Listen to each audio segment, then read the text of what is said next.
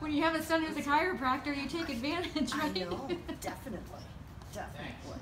I had known about chiropractic for a while, but um, when Alexander decided to go into chiropractic, I gladly became a model for him to practice on on a regular basis. Right. Yes, yes. She's got to be super grandma, so you know she's got to stay tuned up. It's really relieved a lot of tension in my neck because I, I tend to gather it here. And it helps with my sleeping.